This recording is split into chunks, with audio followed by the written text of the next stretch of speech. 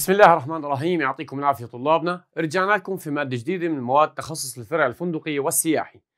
مادة السياحة والسفر للفصل الأول. أستاذ محمد الحجاوي من منصة وموقع وتد التعليمي. بداية في مادة السياحة والسفر للفصل الأول. تتكون هاي المادة من وحدتين. الوحدة الأولى راح نحكي فيها عن الإرشاد السياحي. الوحدة الثانية راح نحكي فيها عن المنظمات السياحية. طبعا في الوحدة الأولى موجود عندنا عدد من الدروس محذوف عندنا درسين. راح نتحدث في الدرس الأول عن تاريخ ونشأة الإرشاد السياحي. الدرس الثاني راح نتعرف المرشد السياحي وأدواره ومفاهيمه وأنواع المرشدين السياحيين وشروطه.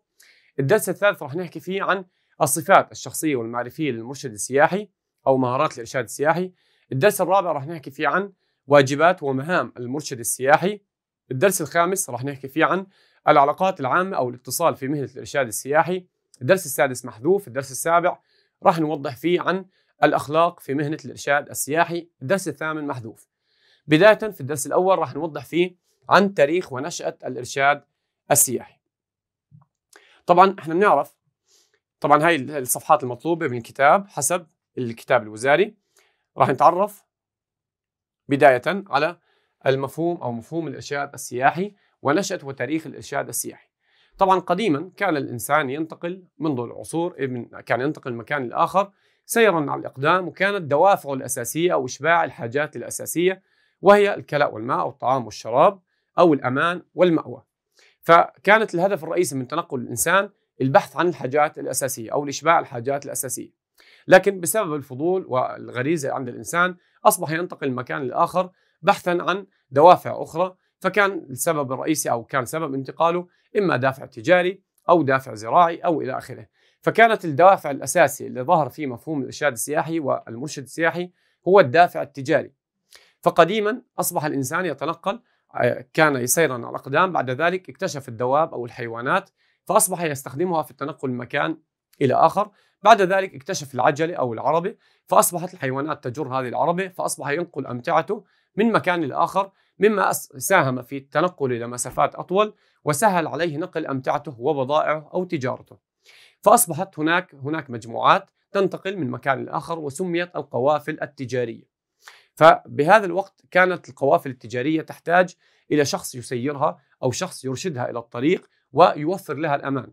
من هنا نشأ مفهوم المرشد السياحي. طبعا راح نوضح في هذا الدرس أنه العالم فريمان تيلدن في كتابه تفسير التراث عرف الإرشاد السياحي ووضح وبين أهم القواعد التي يرتكز عليها الإرشاد السياحي وبين أهمية الإرشاد السياحي. خلينا نشوف منذ القدم كيف كانت عملية الإرشاد السياحي. بحكي لنا أصبحت عملية الإرشاد السياحي. عفوا. أصبحت عملية الإرشاد السياحي كعلم وفن ومهارة من أساسيات العملية السياحية لأي دولة وسبب من أسباب تطور صناعة السياحة فيها وذلك لما لها دور مهم فيه. خلينا نشوف كيف كانت أو أصبحت عملية الإرشاد السياحي سبب مهم في تطور نشأة الإرشاد السياحي. وذلك عن طريق ضمان الاستقرار النفسي للأفراد والمجموعات السياحية وتسويق الدولة سياحيا وثقافيا وذلك لما مارسه الإنسان منذ القدم منذ العصور القديمة في عملية الانتقال. وكان سبب الانتقال لعدة دوافع مثل ما ذكرنا وهي إشباع الحاجات الأساسية. والحاجات الأساسية هي الطعام المأوى أو المسكن والأمن. بعد ذلك تطورت عملية الإرشاد السياحي وأخذت الصفة التجارية فظهر ما يسمى بالدافع الأساسي بعد الدوافع الأساسية عند الإنسان وهو الدافع التجاري. فكان تنقل الأفراد بغاية التجارة كان ينتقل عن طريق أو شكل مجموعات وسميت القوافل التجارية. مثل الحركات التجارية عبر الدول وهذا أدى لوجود مرشدين لهذه الرحلات. إذا من هنا ظهر مفهوم المرشد السياحي. طبعا في الوقت الحالي إحنا بنعرف إنه التور جايد أو الدليل أو المرشد السياحي حاليا موجود لكن هذا المسمى أو هذا الشخص كان موجود منذ القدم عند الإنسان قديما بظهرا بما يسمى الدوافع التجارية أو القوافل التجارية. فكان هذا الشخص موجود مع القوافل ويرافقها. فكان هو لا لم يكن اسم المرشد كان يسمى الدليل أو الدلال. فكان يرافق هذه القوافل التجارية. فكان سبب وجوده مع هذه القوافل التجارية هو توفير الأمان لهذه القوافل ودلها على الطرقات. وهذا أدى لوجود مرشدين لهذه الرحلات ومن مهامهم. اذا قديما كان مهام المرشد أن يبين مسارات الطرق التجارية يعني يدلهم على الطرق الرئيسية وتأمين الأمن للقوافل التجارية. بعد ذلك عرف الإرشاد السياحي بأنه نشاط تعليمي يهدف إلى اكتشاف المعاني والصلات بين الأشياء عن طريق الخبرة ووسائل الإعلام. إذا المفهوم أو المقصود بالإرشاد السياحي ليس وظيفة وليس آه، فقط آه، شيء يدرس أو يدرب. هو نشاط نشاط يمارسه المرشد السياحي مع أفراد المجموعة السياحية. إذا هو نشاط تعليمي يهدف إلى اكتشاف المعاني والصلات بين الأشياء أو العلاقة بين الأشياء عن طريق الخبرة المباشرة ووسائل الإعلام. إذا نشاط تعليمي يهدف إلى اكتشاف المعاني والصلات بين الأشياء عن طريق الخبرة المباشرة ووسائل الإعلام.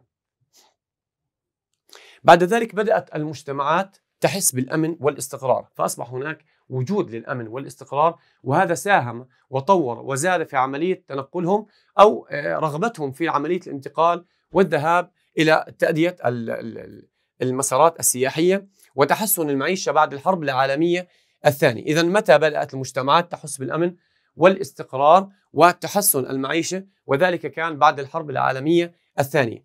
وظهرت السياحة بأعداد ضخمة ظهر مصطلح يطلق عليه الماسس توريزم. السياحة بأعداد ضخمة. فأصبحت الناس أو السياح ينتقلون بشكل جروبات أو مجموعات بذلك الوقت. زي ما إحنا بنعرف في وقتنا الحالي المجموعات السياحية ظهرت بعد الحرب العالمية الثانية وكان سبب ظهورها هو الاستقرار أو الأمن والاستقرار وتحسن مستوى المعيشة. فظهر ما يسمى السياحة بأعداد ضخمة ويطلق عليها ماسس توريزم وظهر بعدها ما يسمى علم الإرشاد السياحي في النصف الثاني من القرن الماضي. إذا متى ظهر مفهوم أو متى ظهر علم الإرشاد السياحي في النصف الثاني من القرن الماضي؟ وذلك بإصدار العالم فريمان تيلدن كتابه وكتابه يسمى تفسير التراث. هذا الكتاب وضح ودون فيه قواعد يرتكز عليها مفهوم الإرشاد السياحي وبين أهمية الإرشاد السياحي. إذا أصدر العالم فريمان تيلدن طبعا إجا سؤال وزاري أربع علامات. ما اسم كتاب العالم فريمان تيلدن؟ كتابه يسمى تفسير التراث. وضح فيه مفهوم الإرشاد السياحي كما ذكر سابقا وزي ما عرفنا الإرشاد السياحي بأنه نشاط تعليمي يهدف إلى اكتشاف المعاني والصلات بين الأشياء عن طريق الخبرة المباشرة ووسائل الإعلام. فقال العالم فريمان تيلدن في كتابه ووضح فيه أهم القواعد التي يرتكز عليها مفهوم الإرشاد السياحي. يعني عملية الإرشاد السياحي ترتكز على أساس. هذا الأساس سمي أو شكل عن طريق ثلاث قواعد في الكتاب إحنا أصغناهم بشكل أربع قواعد. هذه القواعد ارتكز وبني عليها الإرشاد السياحي. أولا ارتكز مفهوم الإرشاد السياحي أو ارتكاز مفهوم الإرشاد السياحي على طريقة تقديم المعلومة للمجموعة السياحية. يعني الأسلوب والأساس والطريقة المستخدم في إيصال وتقديم المعلومة للمجموعة السياحية هي قاعدة أساسية من قواعد الإرشاد السياحي. اثنين ارتكز مفهوم الإرشاد السياحي على العديد من العلوم. هذه العلوم تاريخية جغرافية علمية معمارية. هذه العلوم المقصود فيها أنه أي معلومة تقدم أو علوم تقدم للأفراد المجموعة السياحية المرشد السياحي والدليل السياحي يجب أن يكون بانيها ومرتكز فيها على علوم أساسية معلومات دقيقة صحيحة موثقة لتقديمها لأفراد المجموعة السياحية.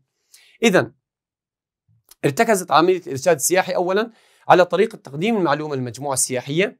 اثنين ارتكز على مفهوم الإرشاد السياحي على العديد من العلوم. هذه العلوم مثل ما ذكرنا علمية تاريخية جغرافية معمارية.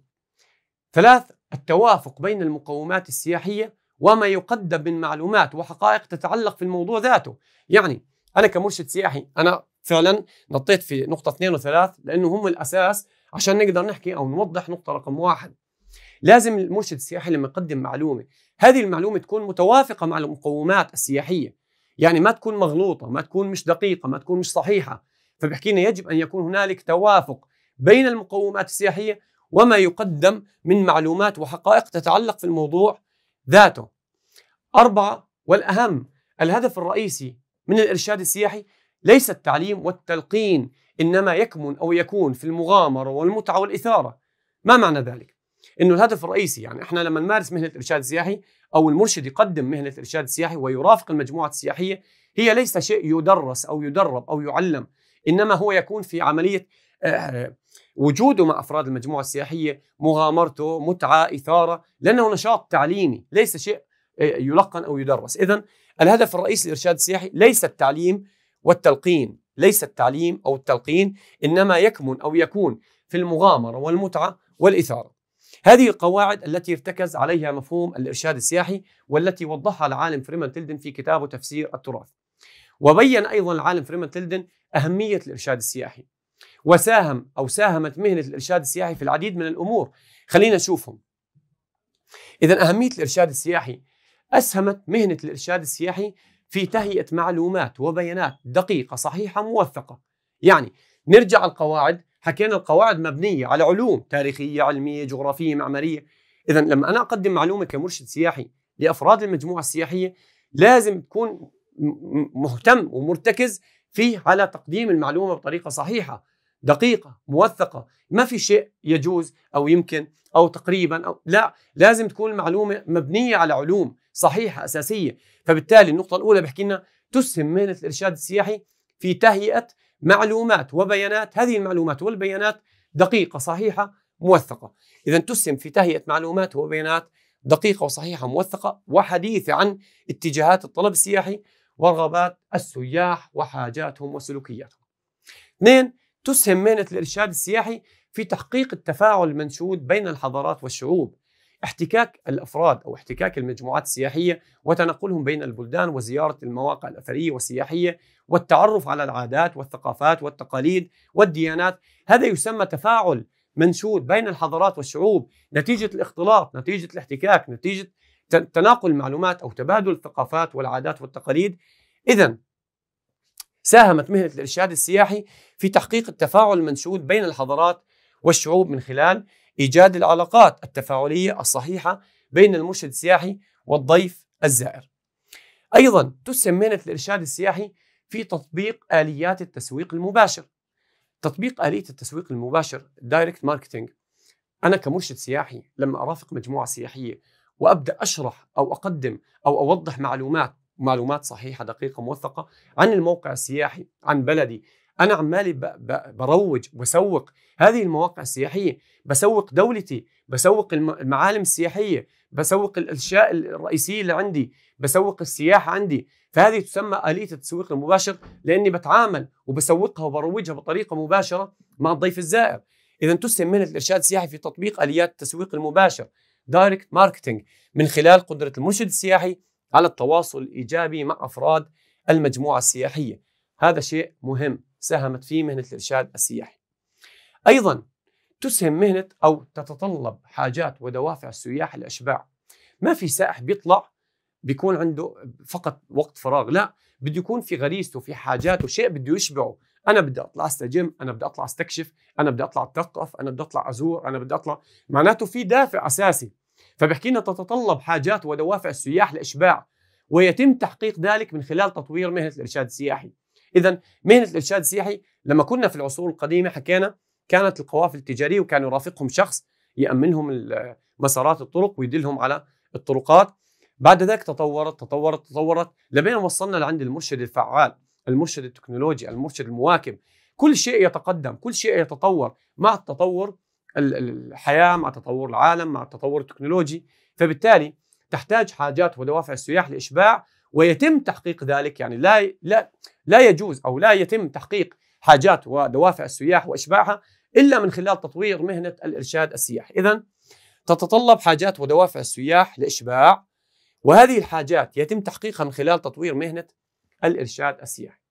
أخيرا من الأمور التي بينت أهمية الإرشاد السياحي وبينها العالم فريمان تيلدن أن مهنة الإرشاد السياحي تتضمن نشاطات، هذه النشاطات اجتماعية واقتصادية.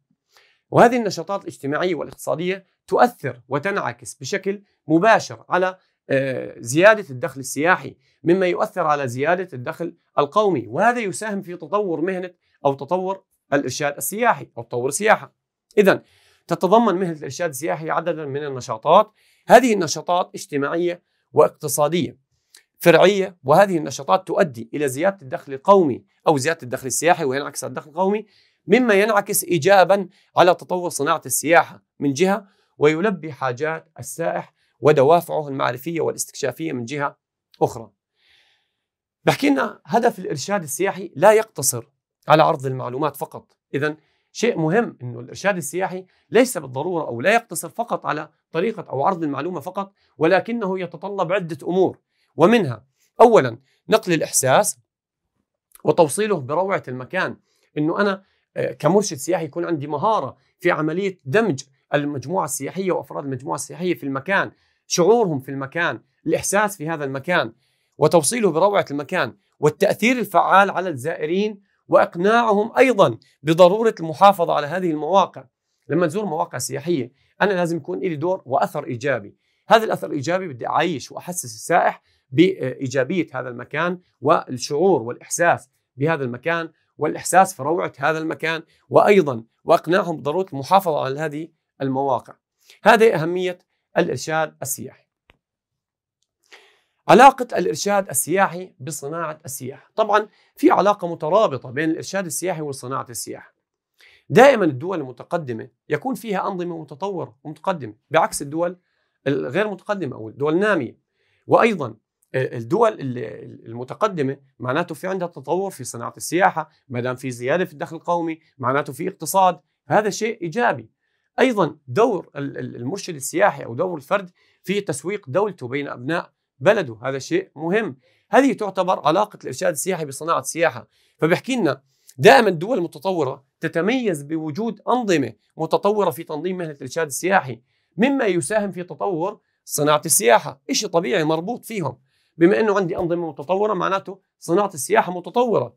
هذا الكلام يساهم في زيادة الدخل السياحي. إذا بما أني أمتلك أنظمة متطورة معناته في عندي تطور لصناعة السياحة والإرشاد السياحي معناته في عندي زيادة للدخل السياحي.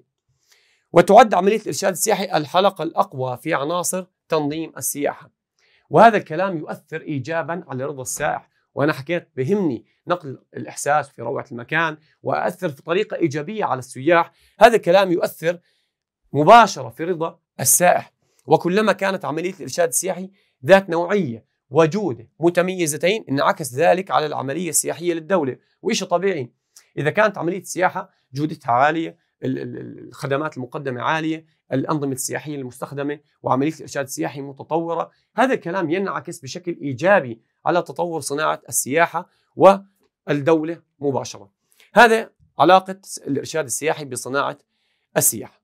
أخيرا قدرة زي ما وضحنا قدرة أو قدرة المرشد السياحي على تسويق الدولة بين أبناء بلده ودولته. هذه علاقة الإرشاد السياحي بصناعة السياحة. لهون نكون أنهينا الدرس الأول في مادة السياحة والسفر. وضحنا فيه تاريخ ونشأة الإرشاد السياحي ومفهوم الإرشاد السياحي. انتظرونا بالدرس الثاني.